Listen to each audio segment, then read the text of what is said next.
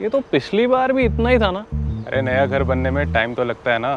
No bro पुराना घर बनने में टाइम लगता है। है? क्या बोल रहा है ब्रो इन ईटों से सिर्फ़ पुराना घर बनता है। तो इतना टाइम तो लेगा। नया घर बनता है मैजिक क्रीट से।